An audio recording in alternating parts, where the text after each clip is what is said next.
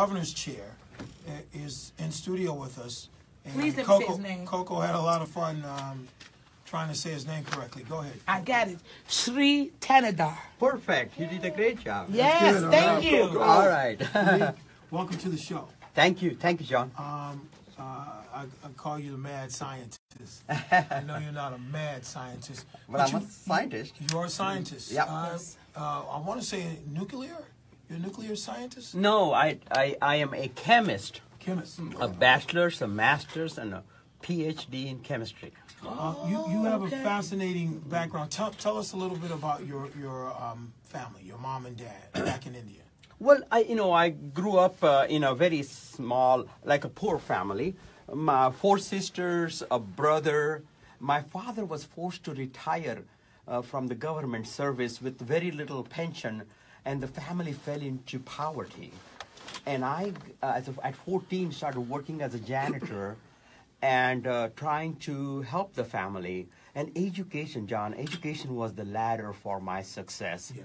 And the state, you know, I got a helping hand from the state because the state paid, because of my financial status, I was able to get free education. So I got a bachelor's, a master's with no loans. And then I uh, wa- heard about the United States, and I wanted to come here and uh, vi- come to this great country. So um, there's a rumor I came to United States with twenty dollars in my pocket, but actually that's not true. I had sixteen dollars, and I had a couple. You had 16. Okay. I had I had a couple beers on the plane, There you go. Okay. there you go. Shri.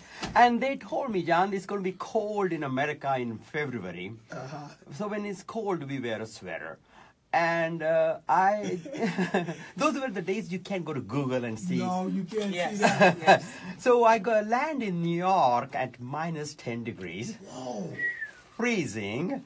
Then I come to Akron, Ohio. Akron, that now wait a minute. Wait. Hold on. We, okay, we, in Ohio. That's where Mason is originally yeah, from. we, yeah, we, we continue to, to, all the stars come out of Akron. yes. LeBron James, Right. Curry, Yeah. and, and, and, and now could be the possible next governor of the state of Michigan. Wow. Well, so I got uh, so uh, you know the, again the state uh, the university paid for my education because they gave me a teaching job. So I had to teach the undergraduate labs, and only nine months was the lab teaching. Okay, and they gave me three hundred dollars per month. So I take seventy five dollars out of that, send it home so my family can put food on the table. And then I live in the two hundred twenty-five dollars, and summer, co- and yeah, and then summer comes and there is no salary, nothing. So I can't keep my apartment. So I, I said I figured it out. I had a car I had bought for two hundred dollars, uh, no insurance. I couldn't- They had to give you a hotel. so I started sleeping That in no the insurance part. No serious. Say that one more time. I was, I was, you know, I, I was a bad driver, and no. No. and no insurance. It You was. sound like all of us. right in. Right in. it, it was it was a ter- terrifying experience and then the and it started getting too hot in the car so i said i figured out i can go in the chemistry building and there is a seminar room i can sleep on right. and i had a sleeping bag and i could just sleep on the floor There you go. and nobody would know. And one day I was working late in the chemistry lab. I slept at 4 a.m. By the time I couldn't wake up the normal time, and here comes, walks in the professor, the dean. They all had a big important meeting, and here I am sleeping on the floor. and, uh, you know, so I was embarrassed, and I put all my stuff away and go, go away, and I was just worried what are they going to do, of sleeping back in the car. And then two years later, they gave me an award, an outstanding teaching assistant, and, and the dean, the dean made, and, and the dean made a speech, and he said, Shri is very dedicated. He works very hard. He works so hard that many a nights he's known to sleep, sleep, sleep, sleep in the building. That is great. And then then uh, I couldn't get. I've sent 150 application for a job. Couldn't get a job. You know, those were the days. eh, 17% interest rates. Remember back, uh, you know, 80, 80, 82. And uh, so finally, I was uh, in Midland, Michigan, at a, a chemistry meeting, and I was uh, telling about my PhD research. And there's a little guy in the back who was just asking me all these tough questions. And in the end, he says, "Do you have a job?" And I said, "No." He said, "Come join me." And he was the professor of chemistry department, M.D. Curtis, at uh, University of Michigan. So Michigan gave me my first break, first real job. And I, the only question was, will my uh, Impala, the, will make it from Wait, wait, hold on, hold on, hold on. Chevy You Impala, had yeah. an Impala. Impala? That was Wow. I, I bought it for two hundred dollars. So. You had a hoopty. Uh, yeah, and then it came No insurance. no insurance. Who you sound like? and, and, and you know and you know the the cars had a fuel pipe and that started leaking i went to the service station they said it's going to cost me $200 to fix it and i said that's the cost of the car i can so so so i go to the lab i go to the lab and i put a little plastic tube and i put it in there and it works Wait a minute. You're a chemist and a scientist, so yeah, you knew what to do. This sounds like an episode of Big Bang Theory. Great. I- and so I then I bring the car to. Uh, uh, so the, the the nice thing about it is that all of my worldly possessions fit perfectly in the trunk of the car, and I still have room left in it. Yeah, So so the car makes wasn't it. very much. The car makes it to Ann Arbor, Michigan, and I started working again. The very first day, I get a ticket, and it wipes out my half of my net worth. I got a ticket for thirty-five dollars. So you went how, how many years between getting a real job? Uh, well, the three and a half years at Akron, then two years at the University of Michigan as a scientist, and then I got a job out of state uh, in uh, St. Louis, Missouri. So I left the state in '84, became I worked as a chemist for about six years, and then I wanted to be on my own, and I found a little business, three-person business that did chemical testing, chemical analysis. They analyze water for lead, they analyze soil for chemicals, Uh, and then I bought that company for seventy-five thousand dollars. I got a loan from the bank. I had three thousand in on my credit card. So I put that in there. So you can see, I, my, my daddy didn't give me $14 million to start, right, start my That's business. right. That's right. And then I started the business, a three-person business, and I grew it. And as I was growing the business, uh, in, uh, in six years, my boys were four and eight years old. About uh, grew the business from one hundred fifty thousand dollars annually revenue to about two million. About uh, grew jobs to about twenty. And you know, uh, my wife, the boy, uh, boy's mother, uh, died. Uh, she was suffering from mental illness, and she died. And I had to take care of the boys as a single father until I got remarried. And so the boys were four and six, year, four and eight years old, and I had to deal with my sorrow, my grief, and I had to deal with theirs. And uh, but I'm proud of them. They, you know, they grew up. They graduated from Ross Business School at the University of Michigan, Yeah. and now they're entrepreneurs creating jobs. That's Wow. Yeah, and That's a great family story. yeah. So do you share your story with your sons? Yes, I do. grown? Yes, I do. Now I have a grandson who is 15 months old. All Thank you. His name is Kai, K-A-I, and uh, you know he's uh, he's he's my. Uh, after all the whole long day of campaigning, I come to come home and I guess see his video or talk to him on Skype. Yeah. Oh, And, uh, and it, it is such a relief, you know. It's a great blessing. It is a great blessing, and uh, so uh, th- then uh, the business kept growing, and in uh, by before the recession, the business had grown to a valuation about 200 million, 450 employees, all in America, and not a single job outsourced. And then came, Wow. and then came the recession. And in the recession, many of my clients were small little companies, and they went belly up. Yeah. And uh, the bank, Bank of America, who got all these federal subsidiaries because they were too big to fail, had no trouble closing on my business. Jeez. And they uh, sold some of the business, closed some of it down, collected more money than I owed them. And they kept the extra money as the late fees and penalties. And they gave me a cardboard box and said, Mr. Thanedar, if you want to take some of your personal stuff, feel free to. And I start, so I put my children's pictures in my box, and I'm walking out, I see this award that I had won, Entrepreneur of the Year from Ernst & Young. So I asked them, and they let me take that thing, and I said, I'm going to win another one of these uh, someday. And I come home, and we learned that in three weeks, they're going to foreclose on our home, the same bank, because they owned everything that, that I owned. They did. So I, uh, my wife and I, all day we work hard and put our clothes and our personal stuff in the budget rental truck, and leave our home for the last time, uh, and we start driving at 6 p.m. and we're driving to Ann Arbor, Michigan now, and uh, so we reach Ann Arbor at 3 a.m. uh, put our stuff in a rental place. Next day, I found a little rental space that used to be a lab and also had gone out of business in the recession. I buy that. This is in September of 2010. And then uh, I grew that business. And in 2016, I had 50 jobs I have created in Ann Arbor, Michigan. Same, thing yeah. Story. Hallelujah. And I, I Yes, We're talking with Shri Thaddeus, Okay. running for the governor's All seat right. here in Michigan and telling us an incredible story about his beginnings and his journey. I'll continue. So now you're in Ann Arbor. You pick up this little company and you start to kick. I mean, uh, Yeah, you oh, I, you know, well yeah. I, I, when I started the company, I was 55 years old, and la, the six years from 2010 to 2016, I never worked harder in my life because I had I didn't have much time left. I felt I need to on. really get this thing done.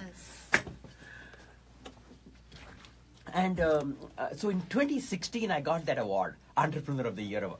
You got it again. I got it again. He said he was, didn't he? He said he was. Yes. And you know, I and my wife looked at each other and we said we did good for our family. Yeah. You know, we Damn right. You, Yes. I mean, We- right, we achieved our American dream, but you know what? American dream is fading all over America. Come on, An yes. American dream is fading in Michigan more so than any other place.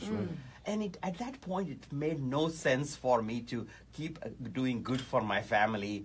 And I decided, and my wife and I decided to just sell the business.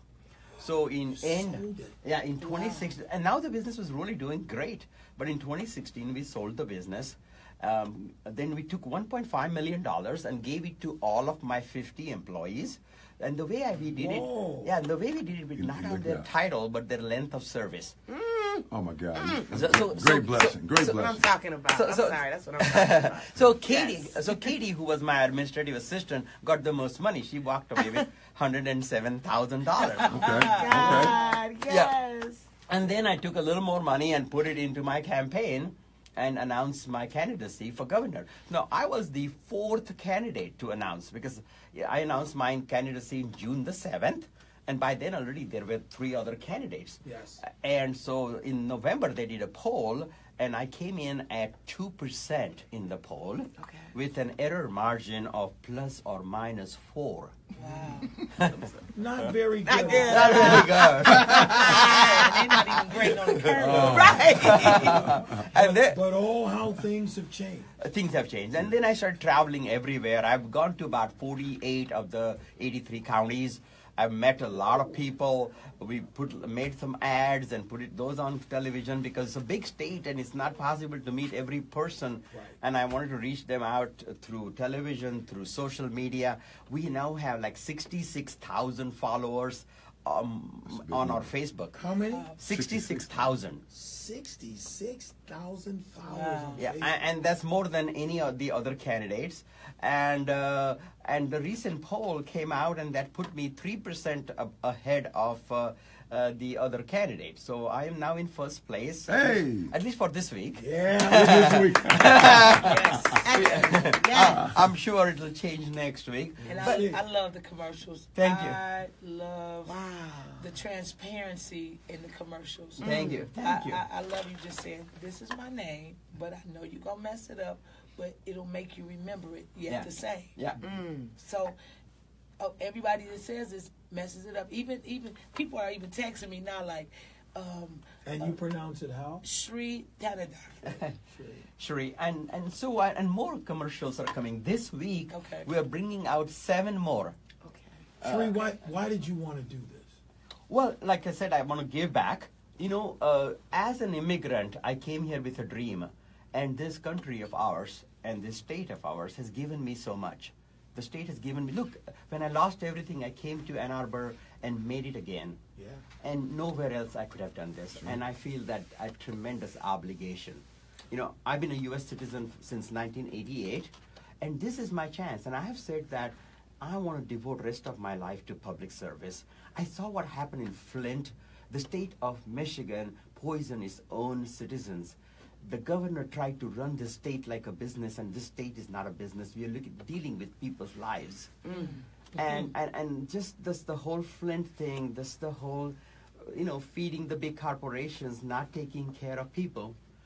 all of that bothered me, and I said, I'm going to set rest, spend rest of my life uh, public service, fixing things. I'm a problem solver. That's right, baby. And I see so many problems in Michigan, and the politicians are only going to give us lip service. They're not going to do what needs to be done. And I'm a doer, and I'm going to go there and, um, you know, make things happen. I'm not just going to go there grandstanding and talking, but I'm going to go work with people and find good solutions. Think big, and think about a future that's bigger and better than what we have today in Michigan. Well, we're talking with Shri Batterer, Yes. who um, is running for the governor's chair. Uh, I do want to say this in, in terms of people. You lived in the hoods. Yes, You suffered like the worst. yes. You pulled your bootstraps up, did the work, made the money, lost it, came back. Yes. Didn't blame anybody. Yes. But then, even at your pinnacle, you still took what you had and shared it with those who could not have done better. Yes. Um, those are traits that people will be looking for uh, in, in a candidate. What do people say to you as you shake hands with them and ask what they would like to see from a governor? Yeah. First thing when I go and shake my hand, they say, I said, I'm Shri. And they said, I know. That's a, that's a good thing. That's a good, Always a good thing. That's a good. You know, I have the highest name ID now, 65%. And my competitor is more around 40 some percent. So I have the highest name ID. The only person that have a higher name ID is Bill Schuette, who I'm going to beat. In the, in the but, uh, you know, uh, people are hurting. Uh, and, uh, you know, Snyder can go talk about the numbers and all that. But, you know, we, pre recession, we still haven't made up the jobs that we lost uh, in the recession. We're still about 300,000 jobs shy of it.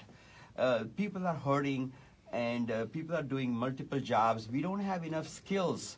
We, uh, you know, 65,000 skilled jobs are unfilled. Uh, you know, Amazon did not even take all the goodies they gave them because Amazon said, fix your education system. You don't have enough skilled people. Our education is at the bottom. The char- charter Yes. schools have, you know, the for-profit charter schools. You know, nobody should be profiting from public school dollars. We need to respect our teachers. We need to pay them well. We need to improve our education. We need to have a, a universal pre-K so that the young kids, uh, one to four-year-old kids, can learn early so that they can do better in the third grade and fourth Yes, grade math. yes, you know, absolutely. you know, we got to give a f- uh, the future to our children. Means we have to invest in them. That's And right. It, it all starts with education. I want to be the education governor. I want to take this our education to the top. And once we do that, and we once we let people have skills, vocational skills, technical career skills, then people can get good paying jobs. I want to bring uh, technical education, vocational skills in the middle schools and in high schools, and have apprenticeship programs.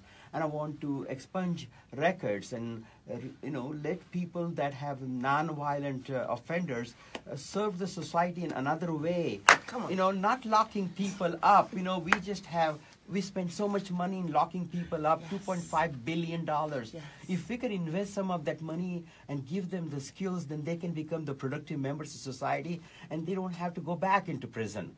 Same way with crisis, o- opioid crisis. It- That's Yes. that's not a law enforcement; it's a compassion issue, and it's a it's a you know counseling, and we need mm. to shut down those pill mills and the pharmaceutical companies that are pushing those medicine on us. So we, there's, we need compassion. Uh, you know, this government need compassion. Uh, you know, that there's too much influence of big corporation, the billion dollar families on our politician, on our government, and that has corrupted our government. And we need to free that, and we need to free that by, and someone who is not beholden to the corporation, the special interest, can do that. And that's what I want to do. Come on. Shri Batterer, running for Yes, governor. yes. Yes. of the great state of Wow. Michigan. Um, thank you for, for sharing some time Yes, with us. I'm yes. glad that you guys here. And uh, you also have a book. Yes. But go ahead, Angie. That was just my question. I just want to know more about your book, The Blue Suitcase. Yes. Uh, you know, I'm a very, uh, you know, our state is last in transparency and ethics. But, you know, I wrote this book with very um, honestly and transparently. So you see everything about me in this. I think the people of Michigan have a right to know who they're going to elect as their next leader. So you have a background blueprint a book that they can pick up. They don't have to ask the other person. Yeah. Wow. They Yeah. can know for thyself. Yeah, yeah, and this is not a political book. It's just a book about my story. I'm just telling it like I would re- tell it to a friend. Sure. And so, uh, so you know who I am. Uh, you know how I have lived my life, and you know that how I'll work. You know that's what I will work. I'm not much for photo apps and I'm not much for you know the publicity. I'm more there for to solve the problems. I'm a problem solver. You've lived. You've lived it all. How do you get the book? Uh, the book can be downloaded free of cost from my website. Uh, you can get an e-copy from the website uh, www.shri2018.com. Now you And know you gotta spell it. You gotta S spell it. H R I. Yeah, so S sh- H R I. SHRI 2018 2018. That's the year we have to win govern the governorship for Democratic Party. So Shri2018.com. They can go there, look at my positions. I, I have the most information uh, on my website about than any other candidate. So uh, you can see my positions on, you know, just about everything: education, healthcare. I'm want to bring Medicare for all. I want to cover more people under healthcare. Uh, I want to fix the education system, and then I want to invest in small businesses. I want to bring entrepreneurship. I am a serial entrepreneur, and I want to invest not in the big Googles and the Amazons. Don't need our money, uh, and they don't have loyalty to our state. We need to invest in the little businesses, the small radio station, or a printing press, or a restaurant. We need to get encourage people uh, everywhere, young people, including you know, in the inner cities, you know, we need to give people hope. And it's not about just begging for jobs. I want to make them inspired enough that they make their own future by starting small businesses and we'll give them micro loans and we'll have counseling and we'll have uh, business incubators where they can bring their ideas and grow it into a business. So we need to create that concept, and our children are leaving after college and finding their American dream elsewhere. They need to stay right here, and we're, we're going to reduce their college debt uh, if they stay in Michigan, work in Michigan. If they stay in Michigan, work or start a business and create jobs in Michigan, their college debt will be forgiven even faster. Shri Thaddeau running for governor. All right. the great state of Yes. Yes. One I, final question um, be- before we close the, the session out. How long have you been plotting to be governor? yeah. Well, I think the first the thought that came to my mind when the Flint disaster started happening. Okay. You know, and I said, you know, as a scientist, I could not bear to see that. And as a scientist, I line uh, Enbridge Line 5 under the Straits of Mackinac.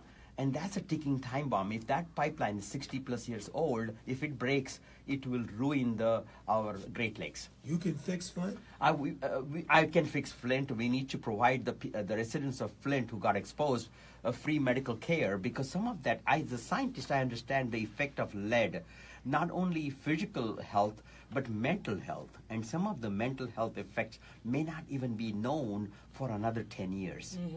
So we need to make a registry, we need to make sure, well, monitor their health, and give them the help that they need because the state did wrong to these people. Mm-hmm. You can find all information, all things Shri at Shri2018.com. Yes, and uh, you know I'm so so thankful to you, John. I'm, I, I know you're a legend, and it was such an honor to be on your show. I Well, was, you, you bring a fresh approach and a fresh idea. Yes. Yeah, I yeah. think we've seen the gamut of uh, political uh, people who, who want position, and a lot of them are missing one main ingredient, and that is compassion for the people. absolutely, and honesty and a skill set. You know, a problem-solving skill set that we need for to take our state from this status quo into the next level. Beautiful. Thank you very much. John, Thank you. All thanks to Shri Thanedar. Yeah. Thank you. Yay, I got it right.